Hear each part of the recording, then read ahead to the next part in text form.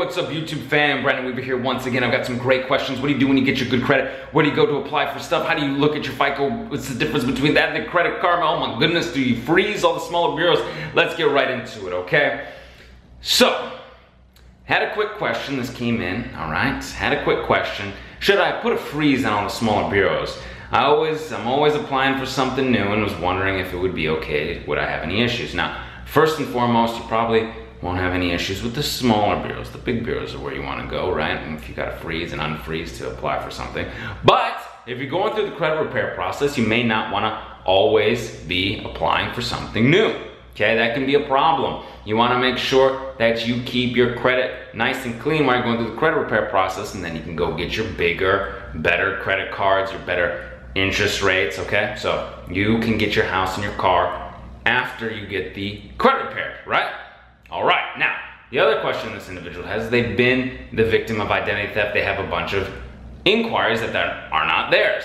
I always say go to the FTC website, fill out their identity theft affidavit, right? You guys are ahead of me because you've seen the videos. And if you haven't seen the videos, hit the subscribe button, the bell for notifications so these videos come out so you know what to do if something like this happens to you or a family member or a friend. You can square away your credit. You can do it yourself, 609creditrepair.com, or we can do the work for you at theawesomelifegroup.com, all right? But back to the ID theft. If you are the victim of ID theft, you go through the FTC website. They have an affidavit you can print out, you can fill out, you can get a police report. You can let them know, the bureaus that is, you can let the bureaus know that these inquiries are not yours. They're from identity theft. They can do an investigation immediately have to remove it. If they get a fraud, something about, right, fraud, this is fraudulent. If they have anything to do with fraud, they have to remove it immediately, okay? That police report, that affidavit is going to be your weapon to get this nasty negative stuff off that is 100% not yours and is well, were, were the victim of ID theft. Not anymore, okay? So this is great. Now,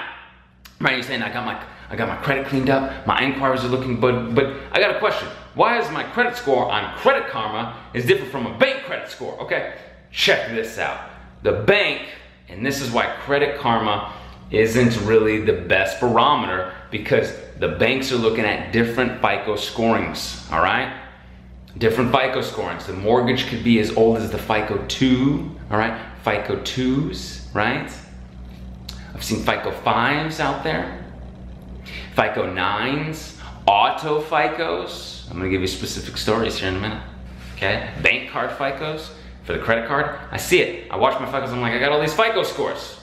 What's the real one? Well, the bank is going to mitigate their risk, okay? So you pull from Karma, they don't see any risk, you're not really, you know, applying for nothing. They just say, yeah, there's a barometer of your Vantage score, okay? But let's say you go into the credit union, which we have before, and you know, you've seen my buddy here with the car, gets the car loan it's going to be based off that person's FICO auto score from wherever they're pulling it from. In that case, the credit union was Experian.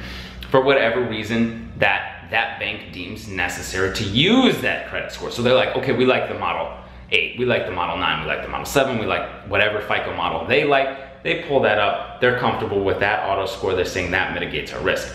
That was higher, that credit score was higher, yes, higher than the regular FICO. The auto FICO was higher and got better terms for this individual than their regular FICO, which might have been utilized for a credit card. They might seem and deem auto having a different risk because it's an installment loan, it's a car, we can go grab that car as equity and sell it if we need to, if there's some money to be gotten out of it, rather than an unsecured bank card with no collateral. That credit card you charge up, well, what are we gonna do now? But we can go get that car. So we have less risk. We actually own the vehicle, we're buying it, you're leasing money from us, we can it. Not only that, the credit union takes into account other things that a big bank may not, okay? Credit unions do and have taken into account the relationship you have with them already, what you may or may not have as far as payment already going on, your mortgage, or whatever, your credit cards with them. They take into more account. So look into your credit unions, look into your local banks and see what's what. So the risk factor is different from when you're actually pulling it and you're actually looking at the FICOs and what they're utilizing rather than just getting a barometer with the credit karmas. Lastly, I got a great question. How long do closed positive accounts, how long are they allowed to stay on your report? that is forever. They are there to help you and yours. But if you got negative, nasty, unverified items, you can dispute them. 609creditrepair.com. Get that Beyond Committed package, everything that you need to repair your credit. Or we can do it for you at theawesomelifegroup.com. Hey, don't hesitate to reach out to me either. Email me if you need any support comment below. Let me know when you hit the subscribe button. Hit subscribe tribe down below. Let me know what is going on and how your credit repair is coming along, getting those boosts to your score. If this video helped you out, please give a thumbs up. And until I see you in person, I will see you on the other side. Take care.